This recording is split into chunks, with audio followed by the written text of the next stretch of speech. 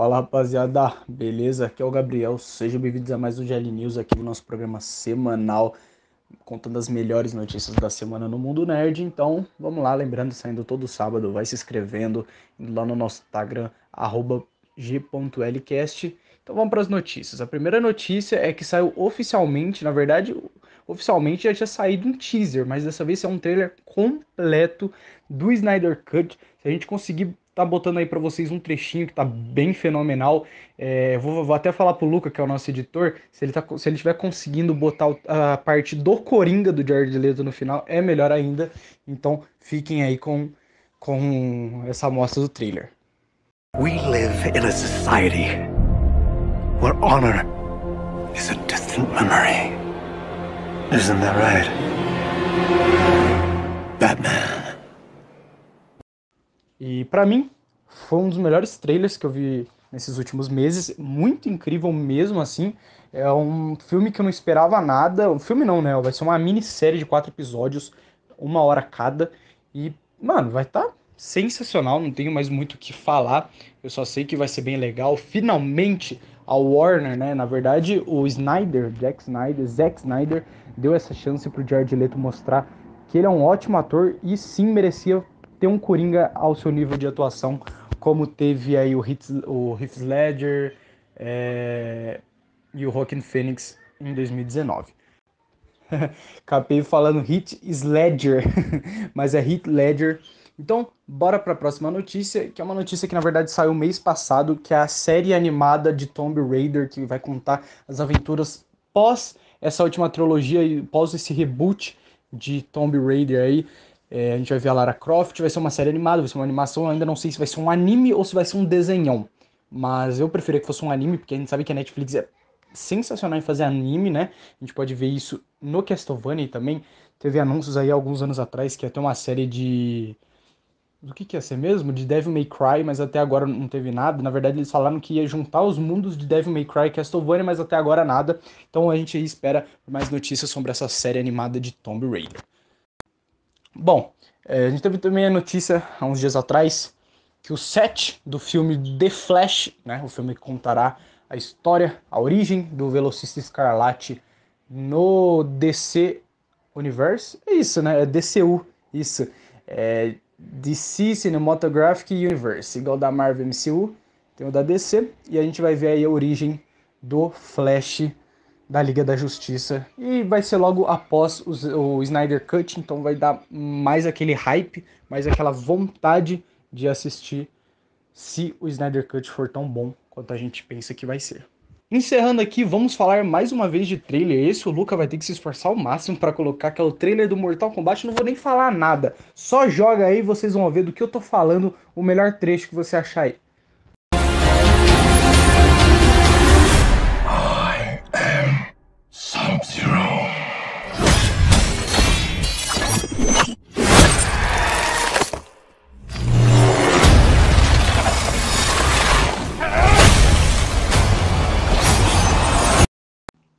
Meus amigos, que trailer fenomenal é esse? É um filme que a gente não dava nada e de repente a Warner vem e taca essa bomba no nosso peito.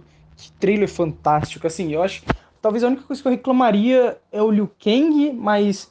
Mas aí já seria gosto, mais gosto meu, gosto pessoal. Porém, Scorpion, né? O Hanzo, o Sub-Zero, o Kuai Liang. Mano, estão todos fenomenais. É, é o Kuai Liang, o Sub-Zero? É que eu sempre confundo o Kuai Liang com o Noob Saibot, que era o ex-Sub-Zero. Mas o Raiden tá muito incrível, a Sonya Blade tá muito legal. O Jax, eu não curti muito os braços dele, mas pelo menos a gente viu que a origem dos braços do Jax eles vão contar. Já era uma teoria de fãs que o Sub-Zero ia quebrar, literalmente, rebentar o braço inteiro do Jax, congelando ele. A gente consegue ver isso no trailer. A mãozinha dele tá meio zoada em CGI, mas a gente consegue ver o Sub-Zero congelando o braço dele enquanto ele tá levantando o Sub-Zero no ar e provavelmente arrebentando o braço dele para ele botar aquela prótese biônica. Bom, então foi isso, eu espero que vocês tenham gostado desse AGL News. Lembrando mais uma vez, vai se inscrevendo, comentando o que vocês querem ver aqui no canal e compartilhando com seus amigos. Eu sou o Gabriel, vou passar agora minha voz para o Luca. Tamo junto, valeu e até mais. E aí galera, beleza? Aqui quem fala com vocês é o Luca. Bora lá então para mais um GL News aqui. vamos aqui para a minha parte. Então, para começar, eu queria falar sobre a Nintendo Direct que rolou essa semana aí. Trouxe bastante novidades para o Nintendo Switch, dentre elas as mais bombásticas, assim, vamos dizer, mais conhecida pelo grande público fora Nintendo, é os novos personagens de Super Smash Bros. Um crossover entre o Mario e o Animal Crossing, que concorreu até jogo do ano.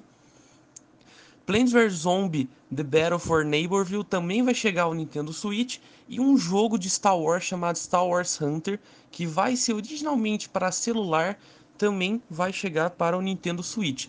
Só que o mais bombástico foi que desde 2017 a gente não tinha nada sobre The Legend of Zelda. E agora vai ter a versão HD de The Legend of Zelda Skyward Sword, dia 16 de julho. E junto com ele vai vir os novos Joy-Cons personalizados, também dia 16 de julho. Então essa foi a Nintendo Direct. Muita gente ficou um pouco decepcionada. Eu, como não sou fã da Nintendo, nunca joguei nada deles, só Mario no Free.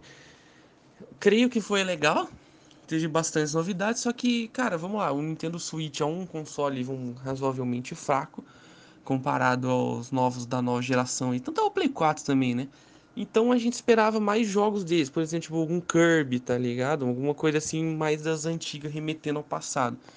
Mas para quem é fã, Zelda deve ser um prato cheio. Então é só esperar dia 16 de julho aí que vai vir bomba. Bom, também tivemos a notícia essa semana de que Rainbow Six Quarantine, como se seria tipo uma DLC ali do Rainbow Six Siege, com os mesmos operadores, só que com uma historinha por trás vai mudar de nome, não vai mais chamar Quarantine por causa da nossa quarentena real.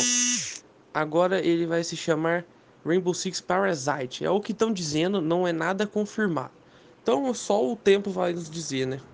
Bom, galera, também tivemos a notícia aí de que o Marvel Avengers, aquela tremenda decepção, não consegui achar graça naquele jogo, não tive nem vontade de jogar beta daquilo lá. Vai ganhar uma DLC agora do Hawkeye chamada Future Imperfect, ou Futuro Imperfeito, que vai ser um futuro distópico, onde tudo está destruído e só sobrou o Gavião Arqueiro, a Kate Bishop, que é a Gavião Arqueira que agora vai ser apresentada na série aí, que a gente já falou no podcast Futuro da Marvel, e um Hulk velho, que foi apresentado num vídeo sobre os personagens grandes do Lego Marvel, que basicamente ele se torna um, um, deus ali, ele toma tipo um professor Hulk, só que o ideal, não aquele negócio que a gente teve no filme lá. E cara, não sei, não espero nada desse jogo. Tá bonito aí que teve agora também as novas que ele deve um boost no jogo para nova geração. Então é isso, é, vamos esperar para ver. Quem aqui também uma DLC de um personagem num futuro alternativo salvar um jogo é difícil, né?